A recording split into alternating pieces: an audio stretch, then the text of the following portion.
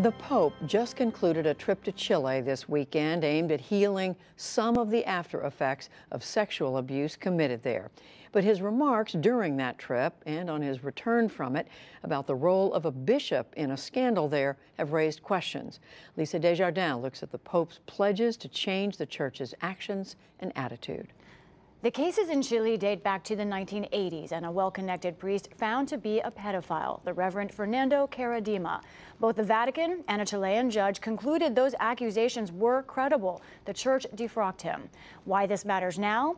Karadima was a longtime mentor to a current bishop, Juan Barros Madrid. He is accused of covering up and witnessing the abuse, while in Chile to apologize for abuse by other priests Pope Francis defended this bishop, saying there is not one shred of evidence against him.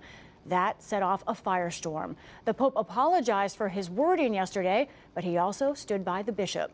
Anne Barrett Doyle is the co-director of the Watchdog Group and website bishopaccountability.org, and she joins me now. First, let's talk about this case in Chile. We have one priest, Fernando Karadima, who was found to commit abuse and also to mentor many other priests who were believed to be abusers. Right. What exactly, though, are the accusations against this bishop, who I know is one of those who this priest mentored? Right.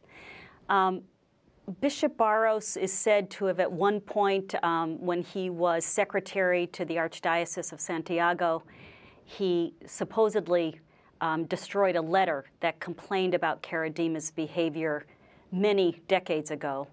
Um, but, but really the, the allegations that are far more serious is that the victims of Karadima say that he was in the room when children and young men were being abused by Karadima. Uh, Juan Carlos Cruz, a well-known victim of Karadima, said that uh, Barros then a priest, watched him being abused by Karadima. And these are victims that the church itself accepted as credible when they were looking That's at Karadima's right. case. But now it seems the Pope is not giving credibility to these accounts. I'm wondering, what do the Pope's words, someone who I know many Catholics see as a man of healing, what do those words on this trip mean to survivors? How are they taking it?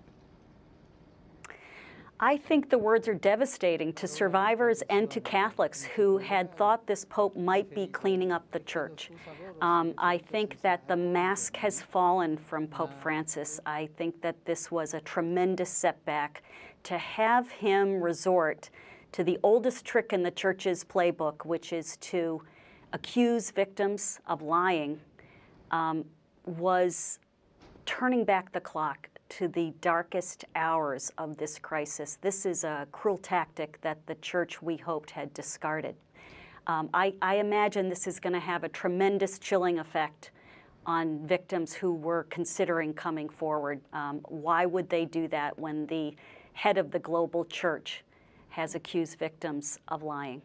You know, we reached out to Boston Cardinal Sean O'Malley. He is the Pope's point person and headed up the commission to protect minors to look into priest abuse. He was not available to come on the show. Uh, but he did indicate he understood why the Pope's words were seen as painful.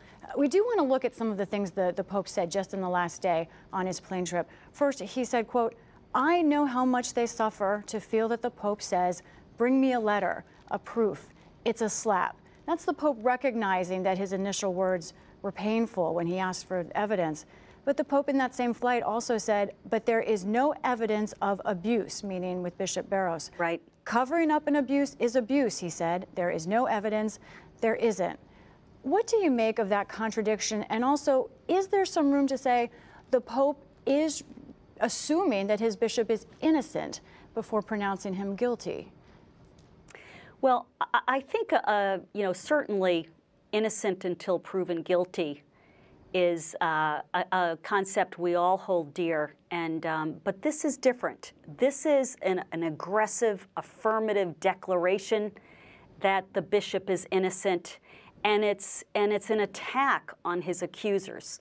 That is bias. You know, that is not a disciplined approach to this case. If he were a judge in a civil case, he would be asked to recuse himself or maybe even, you know, thrown off the bench for remarks like that.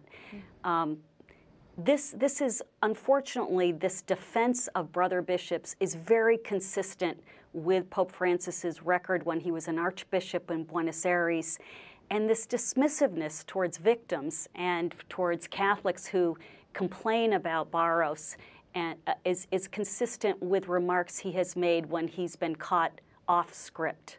Um, I think that this is a turning point. I think that this is a, um, you know, a sign that we cannot at all depend upon reform uh, from this pope when it comes to this issue. We will continue to follow this story, and we will continue to ask Cardinal O'Malley to join us for response.